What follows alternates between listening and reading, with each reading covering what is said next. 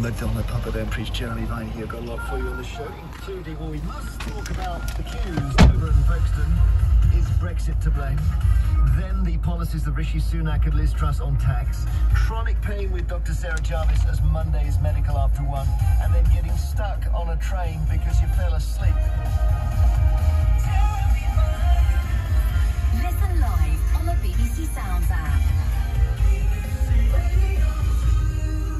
Weekend, passengers heading to France faced delays of several hours in Kent, both at the Eurotunnel entrance near Folkestone and at the port of Dover. I'm sure you've seen the pictures of, of miles and miles of jams.